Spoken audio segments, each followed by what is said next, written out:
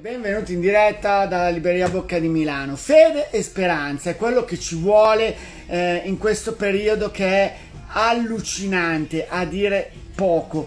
Nel senso che anche ieri, aperto tutto il giorno, non ho visto un cane. Magari venissero loro a comprare libri sarebbe meglio. Comunque, detto questo, la speranza per questi benedetti tavoli di Carla Polo da mettere fuori in galleria c'è sempre. Per il momento tutto tace, ma non importa. Ci riaggiorneremo lunedì mattina quando riaprono gli uffici del Comune di Milano, non demordo. Allora, proprio perché ci vuole fede speranza in questo sabato 1 agosto 2020, oggi vi voglio parlare di un'impresa che rispetto ai miei tavoli è eh, stata eh, sicuramente più difficoltosa e più titanica, come verrebbe da dire.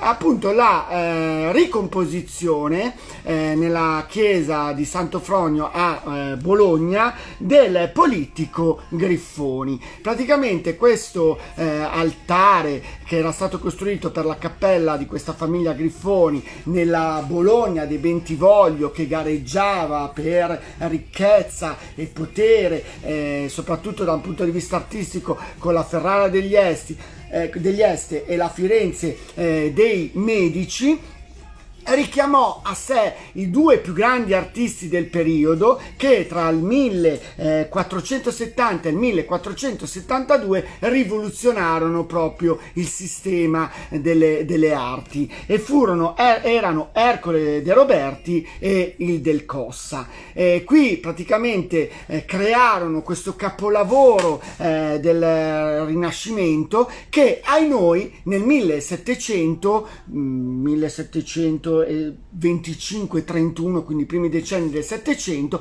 Aldovrandi che acquistò eh, l'eredità eh, appunto da, eh, da, Griffoni, decise di smembrare per far posto ad altri arredi e trasformare le tavole di questo eh, politico in eh, quadri da stanza. Oggi com'è la situazione? La situazione attuale è che questo politico è smembrato e diviso nei maggiori musei internazionali, dal Louvre alla National Gallery di Washington, insomma è ovunque. Però con questa mostra col catalogo edito da Silvana, finalmente il capolavoro è ricostituito. Una particolarità, eh, praticamente il, la cornice linea che, che teneva insieme eh, questo politico era stata eh, realizzata eh, anche questa da Agostino De Marchi, che era considerato all'epoca uno dei massimi intagliatori e creatori di opere in legno. E con questo è tutto, il catalogo, ripeto, Silvana Editoriale, 34 anni, 34 euro, sì 34 anni, non ce li ho più io, ma costa 34 euro ed è acquistabile da Bocca in Galleria.